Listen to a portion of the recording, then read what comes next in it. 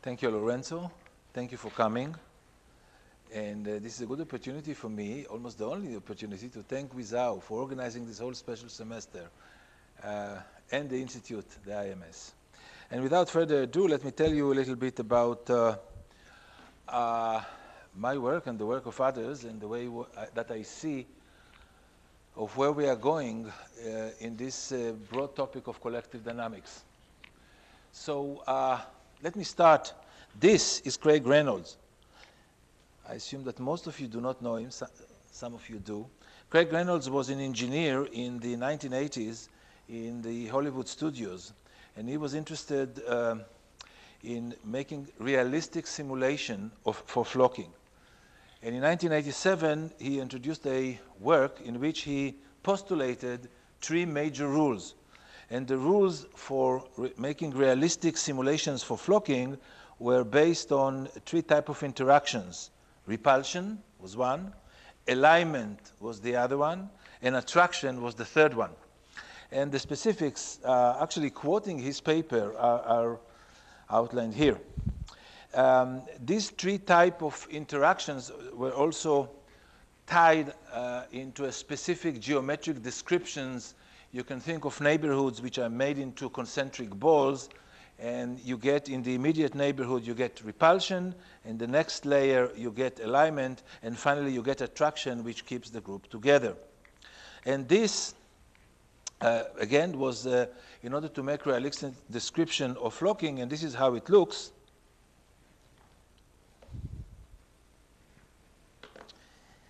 So,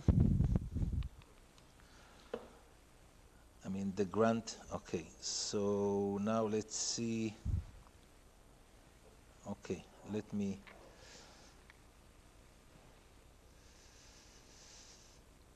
Yes, video in PC, I agree that it's the one thing that makes, makes it better. I did try it before, but uh,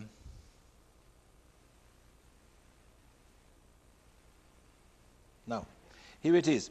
So these are the, uh, this is a simulation of what uh, Craig Reynolds called boids, bird-like objects. And what you see here, you get uh, groups, this is on the two-dimensional torus, they do not collide. As they get closer, they align, they keep together, and they, they, they get the same directions. Um, and of course, when they get close, they somehow merge without collision. So the alignment plays a role. In fact, when you turn off now the alignment, you can see that they break down and they behave in a particle-like behavior. But this is not what we are looking because this is not realistic modeling for flocking. A realistic modeling for flocking is when you turn the alignment and you can see that uh, sub-crowds uh, turn to the same direction, so it goes on and on. Let me skip that. Um, the point is that the same kind of ingredients appear in the, in the behavior in completely different topics. In ecology, for the behavior for fish and birds, sheep, bacteria, locusts, and insects. In social dynamics, the behavior of uh, human interactions from pedestrian and to opinions, voting, and marketing. These are all subtopics that I picked up from what I expect will be the topics of some of the lectures here. And then in sensor-based networks, uh, from macromolecules to metallic roads and, and to uh, robot networks. In all these cases, what distinguishes um, collective dynamics from physical particles is that the collective dynamics that we have in mind, they have two things which distinguish, distinguish them, and these are senses and or sensors. Um, in 1998, Craig Reynolds, uh, he got the Oscar for technical achievement for this kind of simulation. Uh, he, he's actually a very nice person, and he visited me in, in Maryland, um, very modest. Uh, nevertheless, he got the, uh, the, the, the, Oscar for that. And to date, we still do not have a mathematical theory which cover the basic framework that uh, was introduced in 1987 by Craig Reynolds. And this is more or less um, the general framework that I would like to cover. To, to have a mathematical framework that will address the local aspect in the theory of uh, Craig Reynolds. To do that, um, before we do that, let me just make a, a, favorite slide about the different things that we have in mind. Namely, uh, we have an, an, example of interaction of living agents. At the top, flock of birds, a school of fish. Uh, in particular, the formation of tissues made out of cells. Or we have interactions of um, human crowd, traffic jam, opinion dynamics. And then we have non-living agents, uh, and they are, they are shown here below.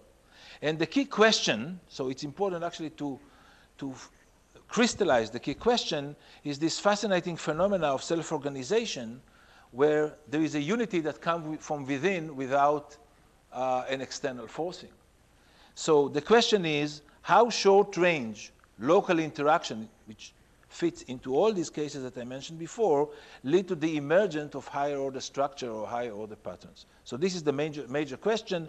The patterns could be flocks or swarms, they could be called parties or consensus, but the key issue is how something from the small evolves or emerges into something in the large. So uh, even though I will mention that the, the, there are no external forcing, I will end the talk by adding external forcing to the mix. So I would like to introduce here a general framework that will unify this approach. And I offer this unified approach in terms of anticipation dynamics. So for anticipation dynamics, we have an Hamiltonian, which is given up there. And the dynamics is a simple Hamiltonian dynamics, but with one twist. The twist is that we react not to the current stage, but we react to the anticipated stage. Na namely, at time t, we react to the state anticipated at uh, time t plus tau, namely in a little while, which is a very human type of reaction. So when tau equal to zero, this is the classical n-particle system is Hamiltonian Hn. When tau is positive, we refer to social particles that they react to the anticipated position rather than the position right now. So anticipation, let me remind you, is a main feature of collective dynamics of social particles in contrast to particles, namely to living organisms, to robots, to everything that have either senses or sensors. And they uh, can be found in mean field games, in dynamical system. This framework was introduced in 2017 in this reference. And before we continue, let me just mention one important feature in this kind of anticipation dynamics, we have an anticipation energy, that is, we have the kinetic energy, and the anticipated Hamiltonian at the anticipated position, which is uh, tagged here by the super index tau. So we measure the state at the anticipated position, and this anticipated energy, denoted here by curl E, is depleting as long as the dynamics continues. So it stops depleting only when vi dot equal to zero. Here are several simulations from that paper in 2017. I do not have time to, to uh, elaborate on everything, but just to show you in several slides that starting with a random initial configuration, you can run to a completely uh, different uh, configuration later on, depending on the various parameters. So this is one example, another example, and then a third example, all taken from this 2017 paper. So clearly anticipation dynamics, unlike Hamiltonian dynamics, offers a wide spectrum of different behavior as t tends to infinity. And that's what we would like to learn, and I offer this as a unified framework for the um, basic uh, premise that was introduced by Reynolds. Let me show you what the connection is. So we will take into account now the case that the Hamiltonian is given by this pairwise interaction. So there is a potential, a radial potential, and we see the Hamiltonian dictated by these pairwise interactions. In which case we have the anticipation dynamics, and this will be the main object of our, this discussion given here. It is essentially a two-point particle uh, interaction, but with one twist that the dynamics actually takes into account the anticipated position rather the original positions. That is to say, if tau equal to zero, this is the usual pairwise n-body problem, but we take into account the case that tau is positive. When tau is positive, when you expand the right-hand side here, you get two terms. This is the first term, and this is the second term. In the first term, I abuse the notation that will be particularly useful for me, and I will denote by u prime ij the uh, derivative of this radial function, the potential, normalized by the relative distances. So these are scalar amplitudes, and these are attributed to the usual uh, n particle system, pairwise interaction. But there is a second term. There is a second term once we expand the right-hand side, and the second term has to do now with the Hessian of u evaluated some intermediate point and taking the difference in the pairwise velocities rather than pairwise positions. And so we get two contributions. And I will would like to study now this system simply because the matrix phi ij, which is the Hessian at some intermediate points, these intermediate points are not accessible.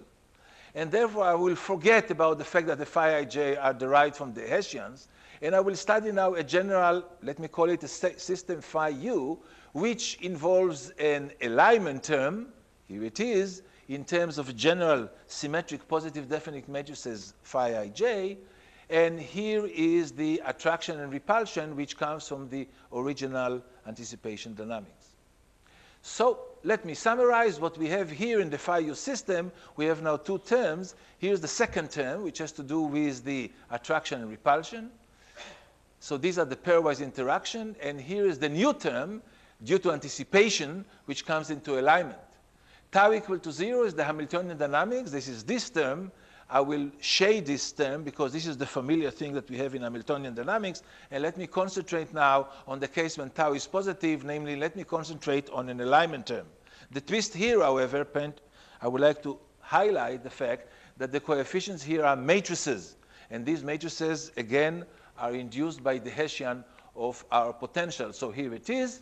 So the phi ij are given by the Hessian of this potential, and in fact, they are given in terms of rank 1 matrices which are expressed here. Again, I shade here the less critical things that I would like to focus. I would like to focus on the second radial derivative of the u's, which are given here, and therefore I will reduce the whole problem into the case that we get scalar interaction, unlike the matrix interaction, and finally we derived rather than postulate the Cucker-Smale dynamics. So in this manner, we, in systematic way, we derive the Cucker-Smale dynamics as a special case of anticipation dynamics. And what I would like to do now is, of course, to study the large time behavior as a special case of this anticipation model. So the interaction particle, let, the interaction protocol, let us remind ourselves, is usually based on geometric neighborhood because we will depart from that later on. And in this case, when we have a scalar interactions, uh, this di dictates a neighborhood so that agent i, its velocity is aligned by those neighbors which are included, supported in ni. In the typical case, the phi ij are function of the relative distances, and therefore this defines balls of radius r0, where r0 is the diameter of the support of the um, interaction function which is given to the model. And what is the structure of phi? Phi is, of course, context dependent and is general not known. So since it's not known, there are various ways to try to, to go around it. It's either derived empirically or postulated based on phenomenological argument, which will be mostly the case here. Or in recent works, there are uh, works where the phi is being learned from the data, and here's a recent work from the group of Maggioni. Since this is the scenario here, what I would like to study is how different classes of phi affect the collective dynamics. So I will not focus on specific phi. I would like to concentrate on a class of intera interaction um, protocols, that is the phis, and to see how they affect the large time behavior. And in this case, there are two, I would like to distinguish between two main classes of dynamics. The first class is when we have fat tail, kernels, namely when phi decays slowly in this Pareto-like behavior, it's given here. And this is the case that most, almost exclusively all the literature goes for the last 10 years. And we know quite about, we know quite about this case of having a fat tail or long range. The other case is when we have short range interactions, namely where the diameter of the interaction kernel essentially is finite, is much smaller than the diameter of group. In fact, this is precisely what Craig Reynolds alluded to in his original work in the 1987, and this is precisely when we know practically nothing. because this is the most realistic case, and this is exactly what I'm running after. So these are the two classes, fat tails and short-range interaction. Let me talk a little bit about what we know, and then try to explain what is the difficulty with the short-range interactions. Okay, before we, we continue, uh, let us remind ourselves a canonical classes of um, interaction protocols. Here's the um, celebrated Cucker-Smale model. The Cucker-Smale model came with an interaction kernel which decays in algebraic manner of degree, in this case gamma. And we know that depending on the uh, intensity of gamma, uh, it dictates whether or not we will get uh, flocking behavior. Notice that in this case, the, of course, the support is infinite. The second case is a case of a singular kernels, which is based on Riesz potentials. Um, the main issue here is that we strongly favor those that immediately neighboring to us, but pay attention, we still have a fat tail. So we take into account an infinite domain. And finally, I would like to refer to the Vicsek model, which of course has many other parameters, the noise, it has to do with the orientation, but the most important thing in the Vicsek model that was introduced first in 1995 is that the interaction is local. Namely, it's the characteristic function of a ball of radius r0, and it is not global. And in this sense, the analysis of the Vicsek model is indeed very complicated. So these are three canonical examples for interaction protocols. And let me see what we know about the behavior of flocking. So here's the, the recipe. We have a repulsion, we have an attraction, we have an alignment. And I distinguish in the repulsion and the attraction in the sign of u prime.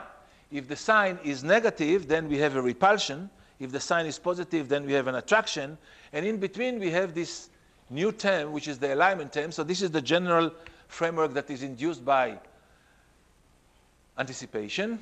And the canonical example that we should think of uh, in terms of the potential U is a potential that is decreasing. So here's the repulsion part. So we repel if the agents are too close. Then there is a region here uh, of an alignment. It is not exactly clear in what sense they overlap. And finally, farther away, we have a uh, attraction, and the slope here is very important because this dictates the tail of the phi. So this is the Reynolds rules of engagement. It's three geometric zones. We see them there, and we see this in this structure. Here's the alignment, here's the repulsion, and here's the attraction. And what I would like to do now is to study in systematic way alignment plus attraction. So I will mention now a few new results about alignment and attraction.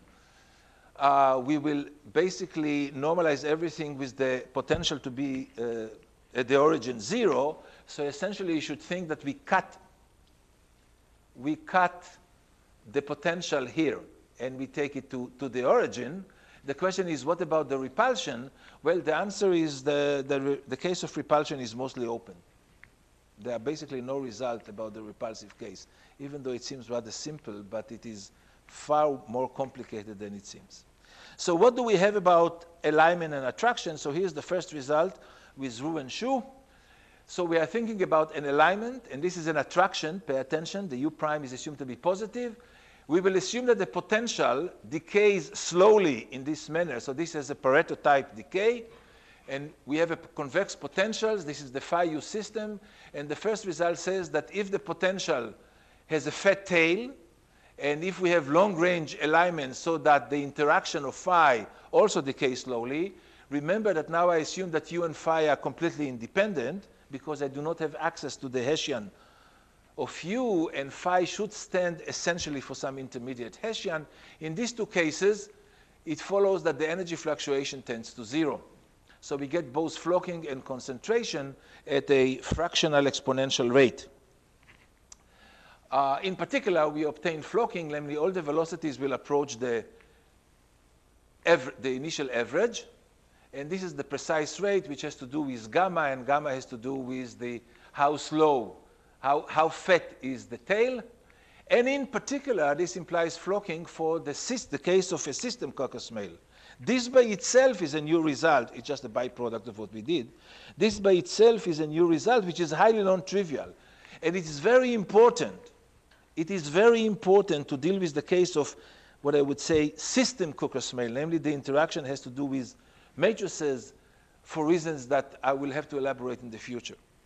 So again, now we have matrices here, they are symmetric, and the question is, what is the large time behavior of Cucker-Smale with a protocol which involves matrices? And the, st the statement is that there is this fractional exponential decay dictated by how fat the fat tail of phi is.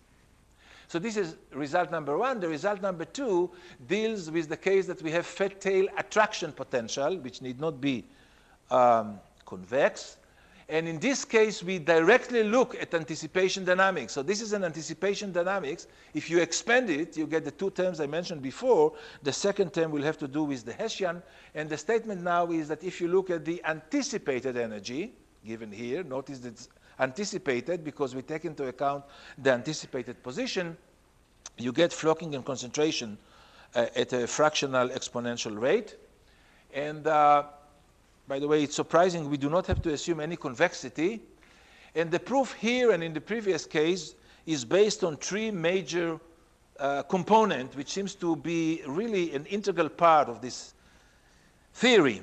And here are the three components. First, you have to assume that uh, you have to address, one way or the other, a point-wise control on how fast the, the crowd grows. So in this case, we see that the diameter of the, grow, the group grows, but not exponentially fast, but only polynomially fast, again dictated by gamma. Gamma is to do with the fatness of the tail. Once we have this, we have partial coercivity, namely the energy fluctuation decay, and you are familiar with this quantity from before, and this is translated to this kind of uh, decay of the fluctuation in the position. It almost closes the coercivity estimate, but we need to get a decay not just of the fluctuation of the positions, but also fluctuation, of course, of the velocities, and this is done by hypercoercivity argument. And, and this seems to be a, a, the same theme in, in, in everything that we do. So these are the anticipation uh, systems in general, and, and, and, the, and the message, the take-home message is the following. If you have a fat tail, then you get flocking and even concentration in space. Now the question is, beyond fat tail, why do we need this fat tail?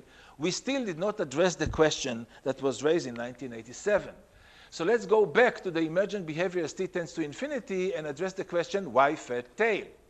To do this, I, I, I reduce the question now to the scalar case, and um, I would like to, to, to, to zoom into this problem of large time behavior in the following way. So what we have is, is uh, this kind of dynamics with a scalar Cucker-Smale, and I would like to interpret it as dynamics on a graph. So I think that there is, I think of it as a graph with vertices, uh, collection of vertices V, where I place each one of the agents, and then the um, edges, E will so here are the vertices, and the edges will be quantified by the, by the question whether or not there is a communication or interaction phi ij between agent at vertex A, uh, vertex I, and vertex J. And once we have this graph, I will define on this graph the gradient along this graph, which is defined here. And with this, I can start the, the whole analysis because once we have the the, the gradient, which depends on the communication, then the dual of the gradient is given by the divergence, and when we take the divergence of the gradient, we get the Laplacian, and this turns out to be exactly the action which comes in Cucker-Smale. So this means that the Cucker-Smale is nothing but uh, the heat equation, the weighted heat operator on the graph, and it's given here. So we have a Laplacian. This is the graph Laplacian. This graph Laplacian is induced by the interaction function or the interaction protocol phi. And then what we have on the graph Laplacian is that the collection of vertices, the collection of velocities is given by minus grad the Laplacian. In computer science, the Laplacian is positive, not negative. So we have to introduce this minus. And we just have to study the large time behavior of this heat equation. And the way to study that is, in this case, um, to, to basically look at the fluctuations, and the fluctuations here, the rate of change of fluctuation equals um, to minus the negative sign, the, minus the Laplacian. So we have to study the negativity of the Laplacian. And here we have to use the Poincare inequality, namely to show that the Laplacian, which you remember in this, our case is positive, is bounded from below by the fluctuation. If this is the case, then we end up with Gronwall inequality if we have this contractivity factor eta such that we will have this kind of Poincare inequality. So this is a property of the graph. This is solely a property of the graph. If we have this property with a positive number eta, we can integrate this Gronwall inequality and we are done. So when this property holds, since these are all equalities so far, it turns out that this equality holds in a sharp way, namely we have this coercivity bound in terms of the second eigenvalue of the Laplacian, which is called the Fiedler number. And the reason for this long discussion is that the second eigenvalue of the Laplacian, called the Fiedler number or the spectral gap, dictates the connectivity of our graph. Namely, we do not have to have global connection between all the agents, but we have to make sure that the graph remains connected. If the graph will break the connectivity at a finite time, then the Fiedler number will vanish and we will not get flocking. In fact, flocking holds if and only if the integral of this eta is infinite, not only that it has to be positive, it has to be infinite, namely we want this contractivity to have fat tail, in which case we will get then and only then flocking, and the flocking will go to the uh, average behavior. So this is the connection for the fat tail, and if we have long-range interaction, namely uh, if phi has a finite infinite support, then we get unconditional flocking, which is the usual framework in the literature. And this holds if we have this kind of polynomial de de decay if gamma is less than 1, which brings us to the original work of uh, Cucker and Smale. If gamma is greater than 1, then we do not have a fat tail, and then we have only conditional flocking. Okay.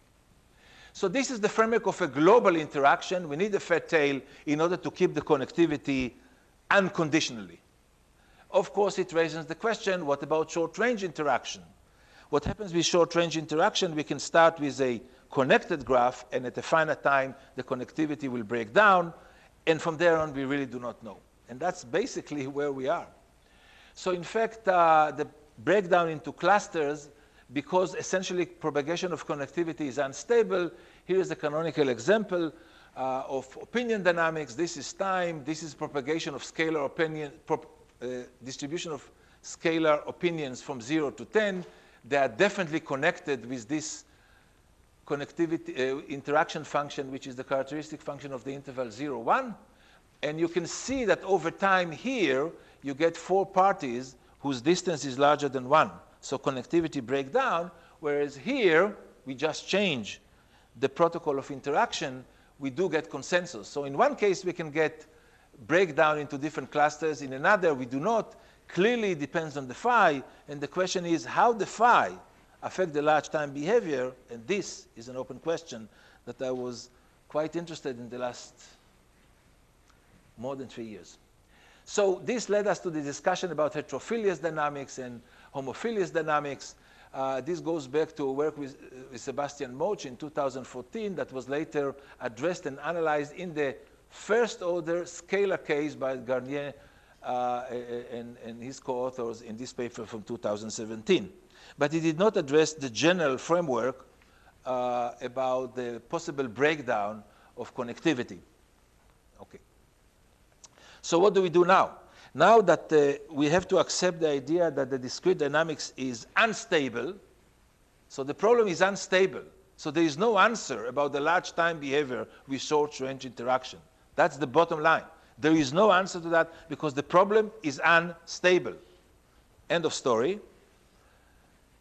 So this brings me, so that's what we are looking at. We are looking at this kind of uh, Cucker-Smale dynamics. The phi ij is short range, it has finite support, and in general, there is no uniform answer which will tell us under certain condition that we will get flocking depending on certain configuration. So this brings uh, a, a, favorite quotation of, of mine, which says the following. However, I'm sorry for those who have heard it already. However obscure the causes permit us to hope that what seems complex and chaotic in the, for, in the context of single individual may be seen from the standpoint of, from the standpoint of the human race as a whole to be steady and progressive, though slow evolution of its original endowment. Let me translate. It basically says that if you use the problem for finite n, it may be unstable. If you let n tends to infinity, it should be stable. This was not said by neither Boltzmann, not by Maxwell, but before them it was said by Immanuel Kant. And based on his recommendation, my suggestion is we will go from finite n to infinite n, and that's the next slide. So we look at the large crowd dynamics, we have an empirical distribution which is written here, and by letting n tends to infinity, we will have a limit, and I will not elaborate on that, which is the distribution function depending on the time, position, and microscopic velocity v. And this distribution function will be realized in terms of its first two moments, which brings us immediately to the hydrodynamic description, which is given here. Namely, we get an hydrodynamic description in terms of the mass equation for the density and the momentum, which is given here. The momentum itself depends on two red quantities, which are not specified here. The first quantity is the alignment. This actually encodes the kind of interaction that we had before, and it is encoded here in terms of interaction uh, kernel phi, which need not depend even on the distance. It just depends on my location and the position of my neighbors. Here's my velocity, here's the velocity of my neighbors, and I take into account all the relative distances in velocities weighted by their own density. And this is the encoding of the alignment term in general. Notice the amplitude here of the alignment is lambda. And then the other thing has to do with the pressure, which was already mentioned today in Young-Pil Choi talk, which will not be resolved, of course, in this context because we have to take into account the stress tensor. This involves the kinetic terms, and we need some new information, either Maxwellian or some sort of a closure. So I will push this aside exactly as was done before, and I will assume that the pressure will be zero. However, I would like to mention, and that's extremely important, everything that I will say from now on applies even when we do not close this pressure law.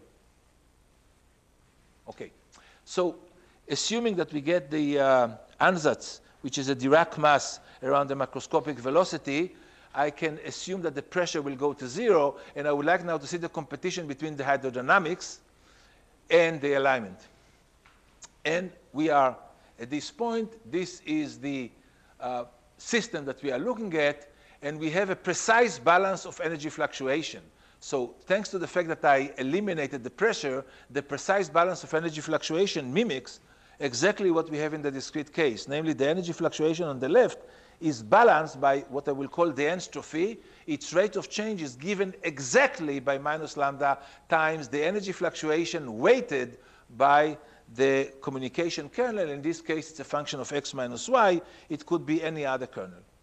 And now the question is to see how the entropy enforces the fluctuation, if at all, to go to zero, and what is the condition for that to hold. So the immediate conclusion is that if we pull out phi, and we pull out the minimal value of phi, which I will call by I will call eta, then we get exactly what we had before. So eta stands essentially for the Fiedler number that we had before, and if the communication kernel here phi decays uh, slowly, it has a fat tail, gamma is less than 1, then this implies unconditional flocking. And this mimics what we have in the discrete case, and more or less, I close the chapter on everything that was done in this area um, for long-range interactions. Okay, fine. And this brings me finally to the question that was raised in 1987 by Craig Reynolds. So what do we know about short-range interactions? I don't have a definite answer for that, I should mention.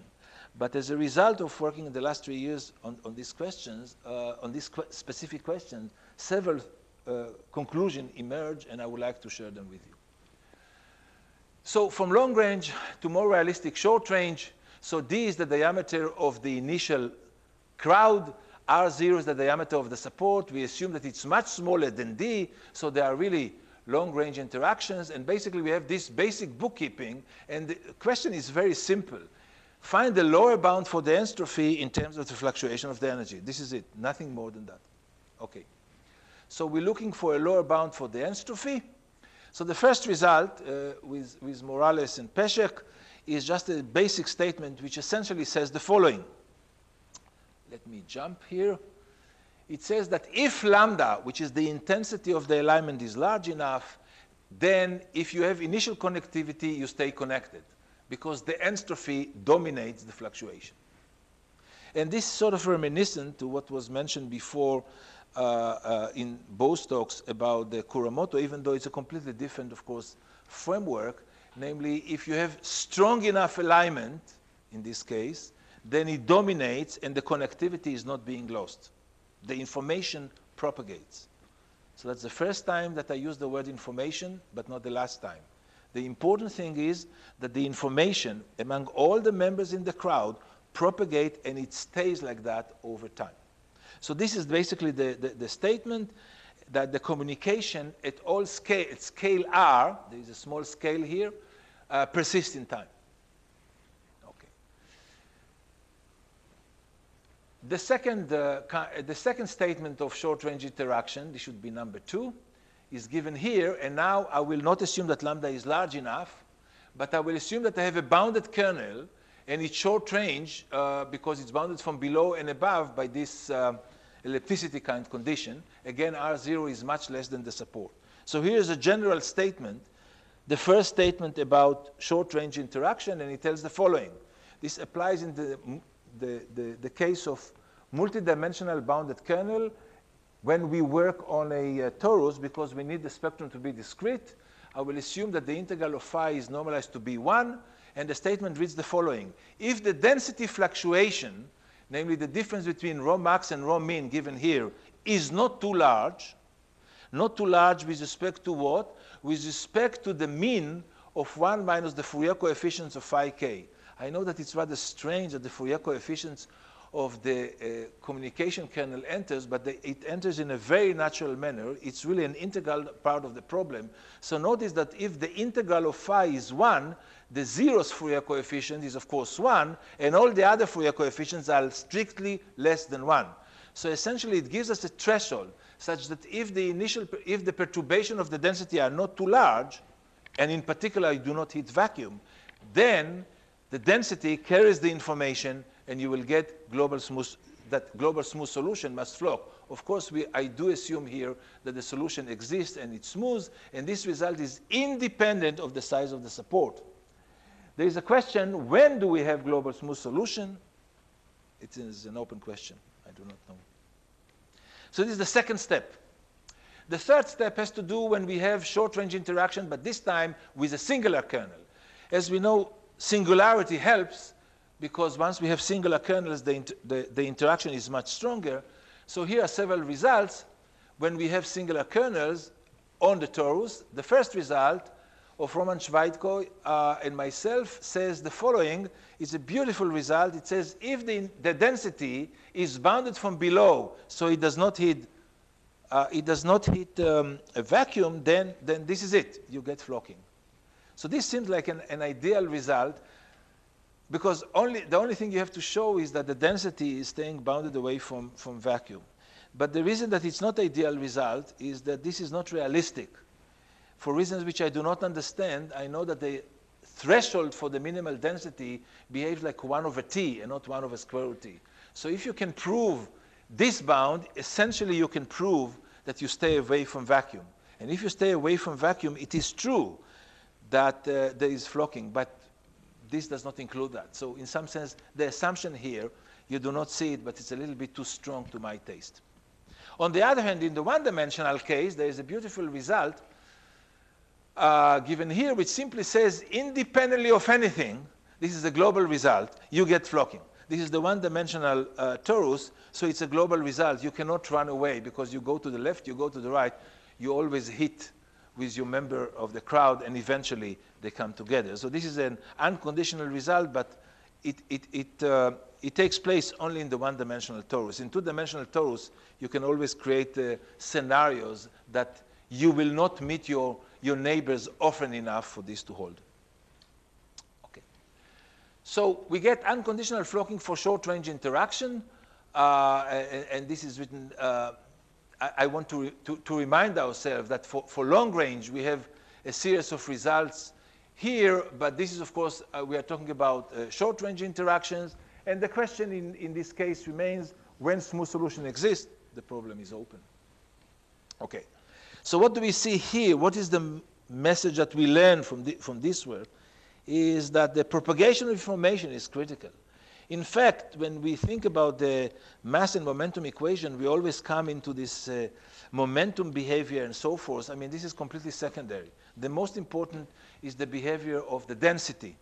If we know that we stay away from vacuum, then this is the critical element because the density carries the information, the propagation of information. So it's the second time that it becomes clear that this is about the propagation of information and not about fluids. And this brings us to a new paradigm that worked out with Roman Shvydkoy in this, in this work.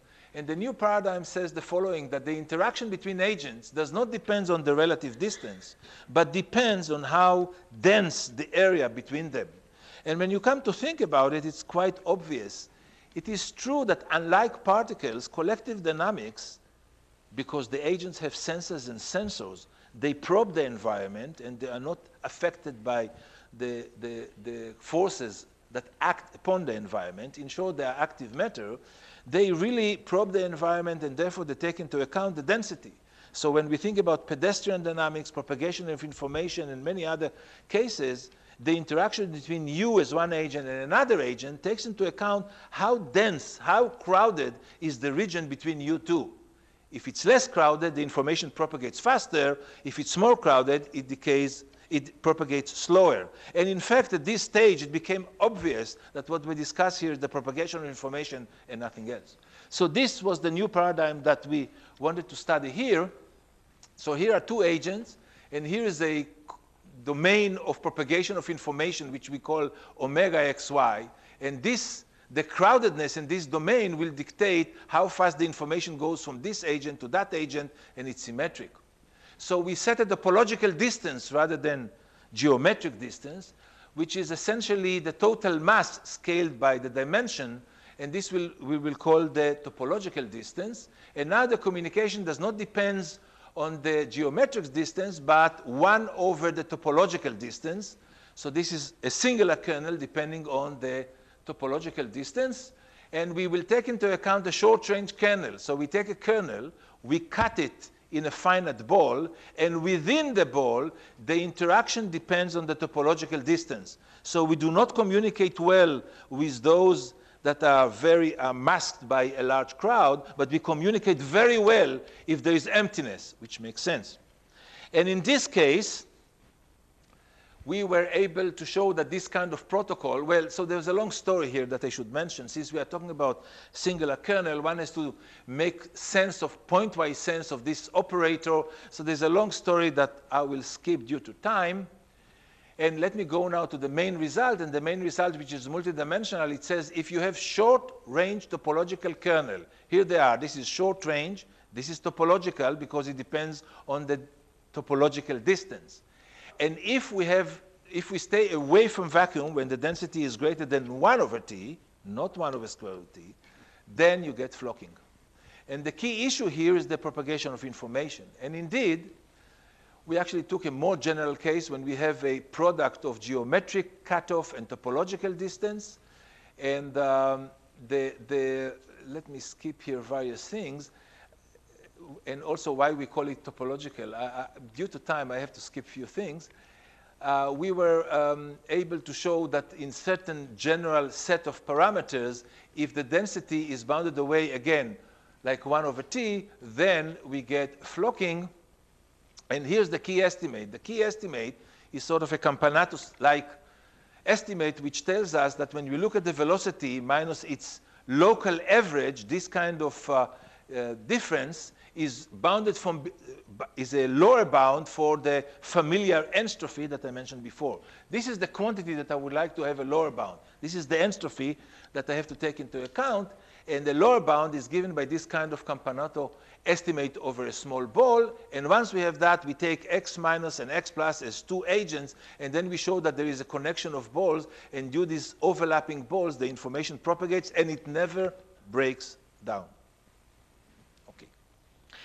Fine. So this is the story of the, the um, topological behavior. Of course, the question is, do smooth solutions exist? We do not know except one case. In the one-dimensional case, somehow there is this magic quantity E, which explains everything. And indeed, in the one-dimensional case, we can show that there is global smooth solution and the densities stay away from, from, from vacuum, and therefore we get unconditional flocking of short-range 1D topological model. So this is another time that the propagation of information appears there. And in fact, it actually propagated the recent work again with Ruiwen Shu, which brings us back to the discrete case, which actually highlights the fact that it is the propagation of information which is so critical. Let me explain to you what's going on here in the discrete case. We look at the topological distance. So there are two agents at location xi and xj, and these two agents measure how crowded is the region between them. It counts all the elements in between normalized by n. Of course, if this fraction is close to 1, then everything is saturated, there is no communication. But if the, this number the, the, the, discrete density is less than, say, some number theta, then the communication will go. And therefore, this brings us to the following model. And the model says that uh, the communication is essentially the characteristic function is a function of theta times the, uh, this discrete uh, crowdedness to the power n. Essentially, it says that if the crowdedness is less than theta, then there is a full communication, and if it's more than theta, then there is no communication even though it's a discrete case, the conclusion is that alignment with this topological uh, cutoff leads to unconditional flocking. This is non-trivial result because I just told you that the discrete case is unstable. The discrete case based on geometric distances, based on topological distances, this result is essentially combinatorial, so one has to count the agents and to see how they're distributed. So this is the fourth step in short-range interaction. And again, we see that it has to do with communication. And it brings me to the short-range interaction, the, the, fifth step, which has to do with games. So this is the most recent result with uh, Siming He. And the story goes like this. We will assume that there are several species. So far, we talked about the fact that there is one crowd of the same type, and the communication in this crowd is always the same thing, which is a very minimal framework. Let's take the case that there are several species. So what's the, what's the definition of species? So you see you have a species alpha and a species beta, and the guys in, of species alpha and species beta, they have a different kind of communication, a different kind of communication protocol, a function which I will call phi alpha beta. So you have different subcrowd, and they have different kind of communicating among them. A much more realistic case. Okay? So why I'm so excited about that? So you take the case that these subcrowds are very large and you get this kind of multi-species dynamics. Notice that now you have a collection of phi alpha beta. And the theorem says the following. Smooth solution must flow. Let's assume that this system is global smooth solution, which is a story by itself, I know. Let's consider this array of uh, communication kernels. And let's assume that this array is connected only connectivity matters. You just have to propagate the information. What does it mean that this array is connected? It means that, that the second eigenvalue, the spectral gap of the appropriate Laplacian, that's essentially what it says here, has a fat tail. In this case, all the members of all the crowds will go to the same direction. And why is it a game? Here is an example. So let's, let's take the case that we have two groups or two species here. So this is one group and this is another group, and here are the rules. Group number one, members in group number one does not pay attention to their own kind. The only thing they look at is just the neighbors in the other group. And group number two do not take account of their own kind. They only look at the first group. So this is a canonical example of a game. You just look at the other one, completely ignoring your own. So in this case of a game, both of them will get to the same limit. And the reason is because there is connectivity, the information is never lost. And of course, you can generalize it to an n by n uh, uh, scenarios as long as the matrix of uh, the protocol of communication is connected. Connectivity is the main thing, and that's basically what we learned so far. Okay. And then uh, let me move now to anticipation dynamics. I started with anticipation dynamics. Let's take n tends to infinity. The anticipated dynamics brings uh, up a very interesting uh, uh hydrodynamics, or basically anticipated hydrodynamics, which is written here. In this case, we take the gradient of the potential, not of x minus y. It's not the convolution, but it's a convolution in the anticipated position. And notice that the anticipated position, of course, has to do with the local velocity.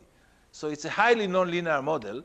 And the question is, what is the large time behavior? I do not know anything about the existence. And the statement is, of course, that the anticipated energy is decaying in this fashion. This is equality.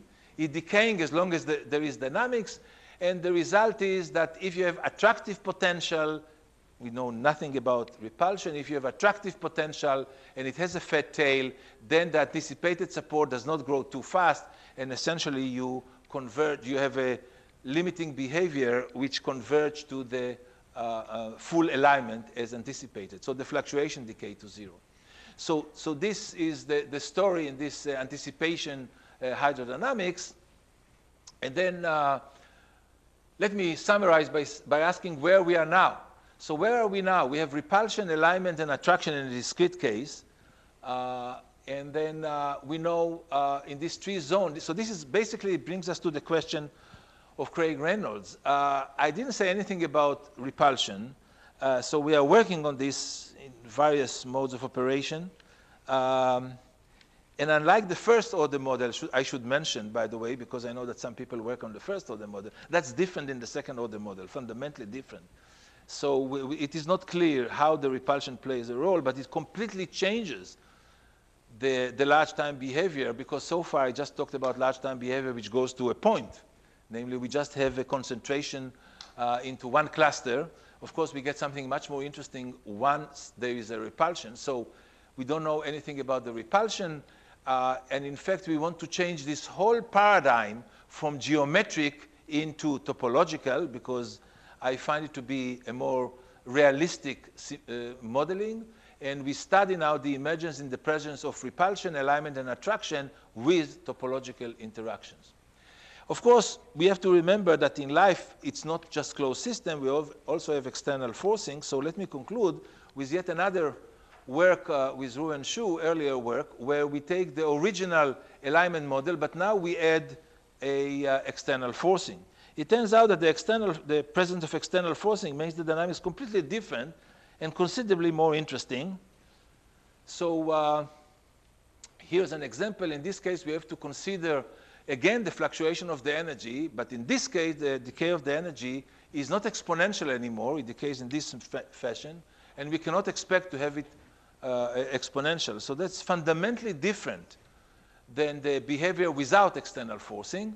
And in particular, if you take the quadratic potential, which is a very specific case here, what we found out that the, the dynamics uh, concentrate along a harmonic oscillator rather than a point.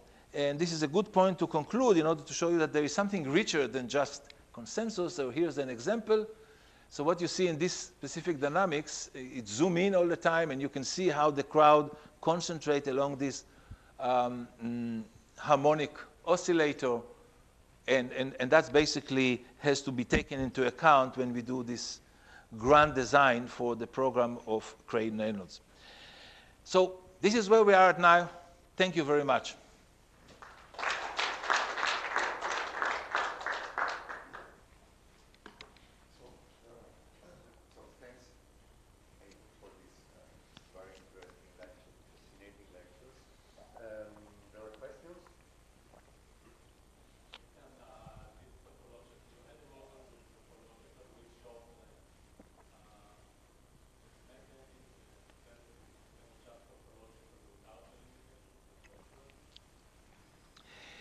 Yes, uh, but if you take the topological without a short range, then, then I know the answer. Then I know that there will be, um, uh, I know that there will be a um, unconditional flocking. So let, let, let, me say here a few things. The topological is actually uh, quite more complicated than it seems.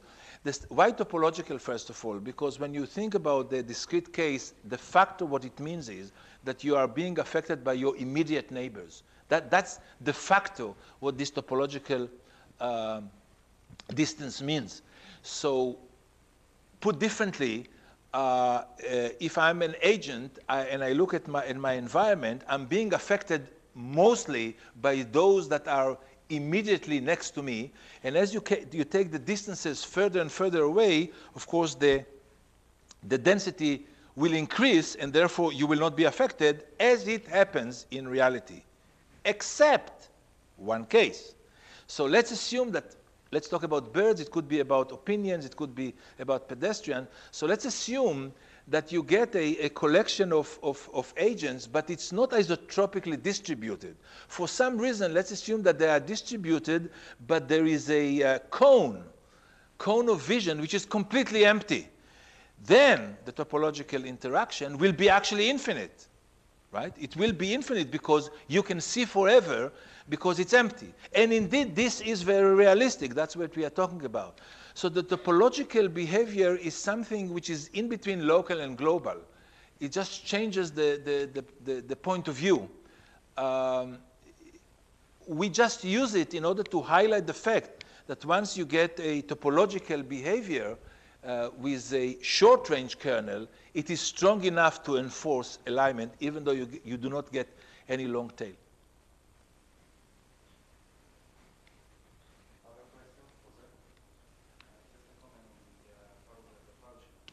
Repulsion, yes.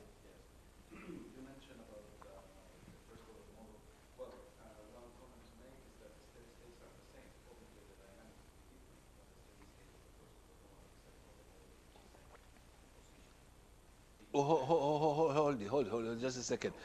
Uh, what, what do you mean the steady state will be the same?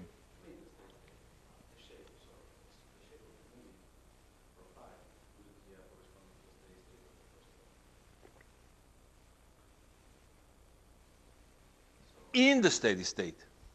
Yes, it, once I have the steady state. Yes. Yes, but of course now it will not be just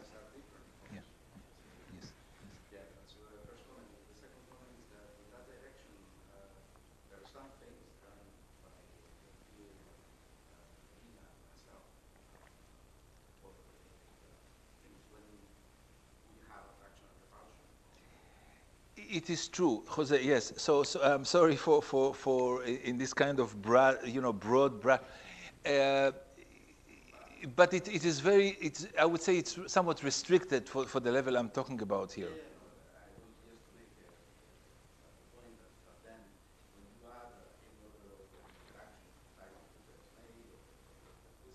Yes. Yes. So actually, I, would like to, to, to, so I spent some time about this. Uh, I myself was, uh, uh, so, so I should mention that uh, both with Roman and with Ruiwen Shu, uh, it seems at the beginning that the repulsion is, uh, well, you just had the repulsion and then it's being confined by the, the, the other forces and from there on, how complicated could it be? Um, and then at, at one point, I guess some of you know that there is this problem. I mean, I, I don't, uh, the Thomson problem, where you get the, the electrons and you had confinement by geometry rather than by, by attraction. And uh, I, I, I, was not aware that this is an open problem from the beginning of, uh, beginning of time. And it seems such a simple problem that, right, you have an electrostatic uh, forces of repulsion and the confinement comes from the ball. And what is the limiting behavior? It's actually listed as one of the 21st century problem by, by Smale, which then, then I, I decided, okay, now I start to understand that uh, you can confine the repulsion either by attraction or by the geometry or many other ways, but is, in the second order case, it's considerably, really considerably more complicated.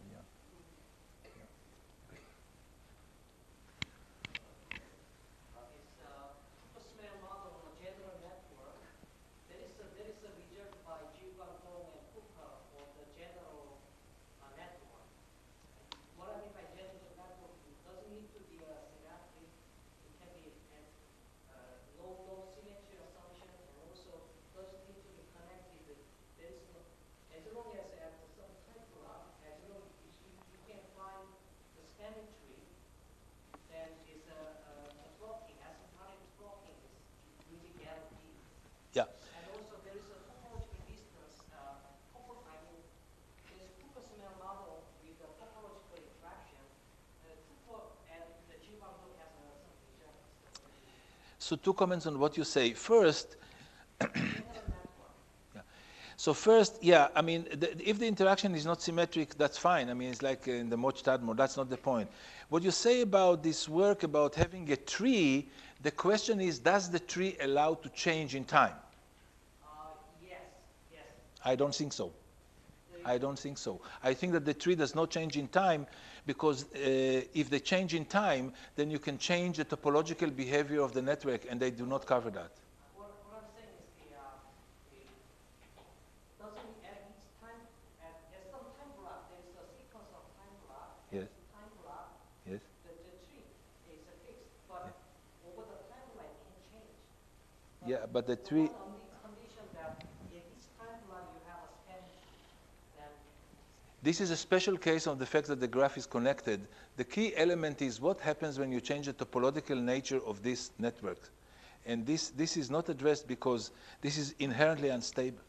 It's simply inherently unstable. so the first case does it's, it's not a distance. Sorry? So you have a Fukushima model Yes. You have a, a general, all a general network. This general network doesn't need to be symmetric, doesn't need to be connected all the time, but at each, a sequence of time at each time you have a, a tree. So I don't understand. The, the, the, the network need not be connected? Uh, doesn't need to be connected all the time. But if it's not connected, then it will break down to different, to, the- the- to, uh, yeah, yeah, but then it will be uncommunicated uh, uh, clusters. The, the, the, inter- uh, how to say, the, the union of the graph has a, I think I know what you're talking about, but I, I'm not convinced that this is the uh, that this is the main message. Yeah, because you assume that something persists, and this assumption is hidden and it's very strong. That's that's what I. Uh, What I'm saying is this is connectiveness can be relaxed to include the spanning yeah, and the network. Maybe we can discuss. yeah, we can discuss this offline. Okay. So simple question, when you have external potential, Yes. your momentum is no longer conserved. Correct. Your energy is still conserved. No. No. No. So what happens here is that the, the once you have external uh, when you have external potential, uh, what you really have to, to, to see is not a global conservation of the energy, but you have to look at the fluctuation because even though you have external potential, uh, the alignment force, I mean, so the, the key player is the alignment, and the alignment with the external potential make the fluctuation decay. The question is decay around what? And as you can see, decay about limiting behavior, which is dictated by the external potential.